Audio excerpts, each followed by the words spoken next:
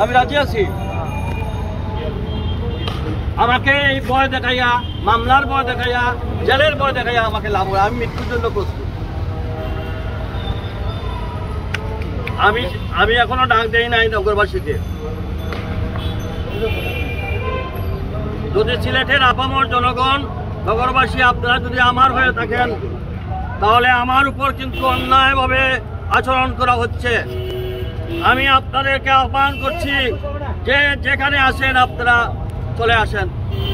আমি আজ থেকে বিশ পঁচিশ দিন আগে থেকেই বারবার বলছি যে আমি নির্বাচন সম্বন্ধে, আমি রানিং মেয়র, আমি মানুষকে, আমি জানাব, আমার অবস্থানটা স্পষ্ট করব। আমি এই জন্য নগরবাসীকে, আপনারা জানেন, মিডিয়ার মাধ্যমে বলেছি, আমি বিভিন্ন সভা সমিতিতে বলেছি, আমি সরকারিভাবে, আমি অফিসিয়ালি আমি পুলিশ কমিশনার এবং রিটার্নিং অফিসারকেও আমি অবহিত করেছি।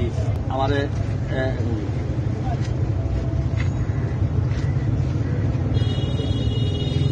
আপনার দাবি কি? আমার তো দাবি তো আমি আমার আমার জনগণের কাছে আমি আমার নগরবাসীর কাছে যদি আমি নগরের সেবক হিসাবে আমি এখানে দুটি কথা মতামত দেওয়ারও কোনো আমি তো অফিসের সব কর্মী অবদার করেছি। আমাকে তো যদি এখানে না দেওয়া হয়, তাহলে আমাকে জানাবেন তিন দিন আগে। আমি সেই তিন দিন আগে জানাইছি সবভাবে জানাইছি। এখন ওনারা এসে কোনো কিছু নাই, তালা মারা